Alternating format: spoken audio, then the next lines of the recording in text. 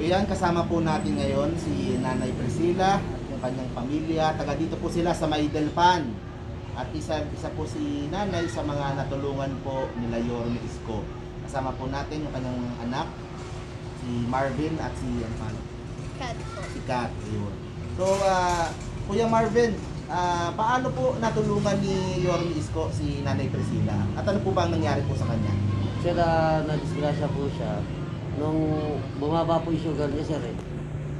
Yung sa sugar niya, bumaba. Biglang, ano siya, sir, nag, ano yung, nawala siya ng malay, sir. Tapos hanggang nakilala ko nga si Sir Martin.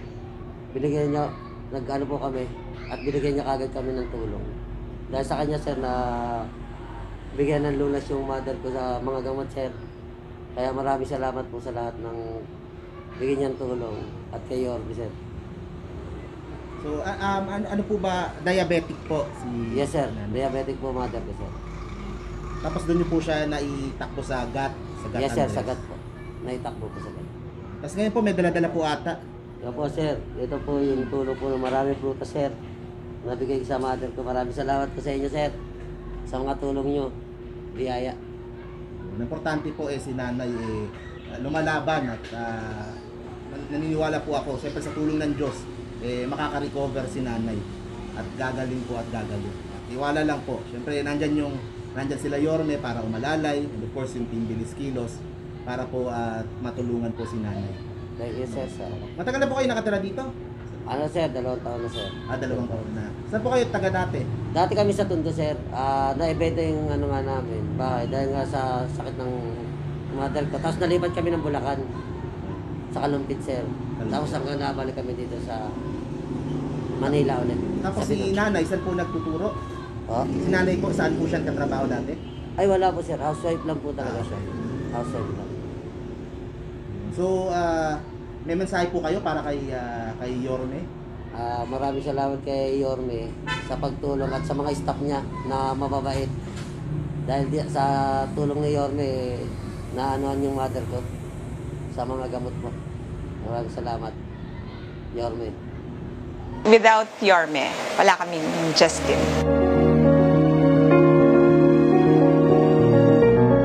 Umpisa, nalaman namin may sakit si Justina Villari at Tricia, um, kinakailangan niyang mag-undergo ng liver transplant. Ang sabi sa amin ng doktor, in two years, kinakailangan niyang ma-opera. Kung hindi, mawawala sa amin si Justine.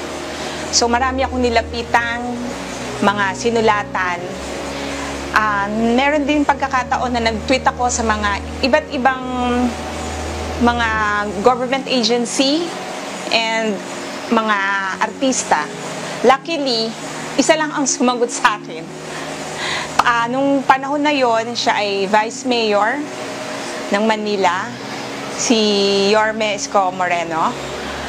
Hindi kami resident ng Manila, kaya gulat na gulat kami na ganun yung itinulong niya sa amin. He pledged 2 million pesos para maisalba yung buhay ng anak ko ni Justin. Gusto namin lumaki si Justin. Gusto namin lumaki si Justin na makilala niya. Yung taong tumu- tumulong sa kanyang maisalba yung buhay niya. Maraming maraming salamat sa lahat ng naging tulong mo sa akin, sa pamilya ko, lalong-lalo na kay Justin. Kung wala ka, wala, hindi namin makakasama si Justin.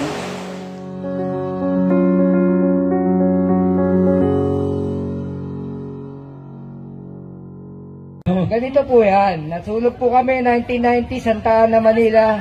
Pasig Line Street, Santa Ana, Manila, 1990. At noong 1992, ah Mayor po si Mel Lopez, inilapit po namin ang aming programang Land for the Landless Program for Expropriation para po sa ordinansang 8115. Ang lugar po namin sa halaga noon ay nagkakahalaga pa lang ng 20 pesos per square meter. Oo, ko. napakababa pa po nun.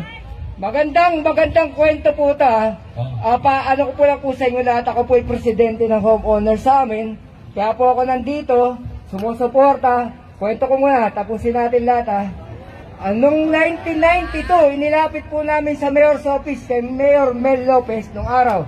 tabi, ah, tabi-tabi lang po ah. Kwento lang po ito, pero may katotohanan. Lalayo lang po ako sa inyong konti, kuya. Okay lang. Kami po ay lumapit upang ilapit ang aming programang Land for the Landless program. Ngunit kami po ay nabigo. Sa halagang 1.2 million sa 6,003 square meter po. Sa halagang 1.2 million kami nabigo. Hindi napatupad ang ordinansang 8115 nung panahon na yun. Maraming umupong mayor sa Maynila, wala pong tumitig sa amin, puro tingin lang po silang lahat. Pangako, puro pangako. Ngayon po, ah, nung Vice Mayor pa po, si Mayor Isko Moreno, nagkaroon po kami ng pagkakataon, siya po'y makausap namin, hindi naman po kami nabigo. Alam niyo po, February 3, 2020, yung lugar po namin sa halagang 111 million pesos, binili po ng siyudad ng Maynila. February 3, 2020. Ayan po ang totoo. Sabi po, ayan na, kung alam niyo po, ang Villamor High School, yung kahabaan na nasunog na yun, binili po ni Mayor yun para sa mahihirap katulad namin. Yes! Bukod pa po doon, nag-pandemic. Ito po mahirap eh, nung nag-pandemic eh. Sila ba may food security ang pinatupad? Patuputulin ko na po, baka biglang may umamat po dito.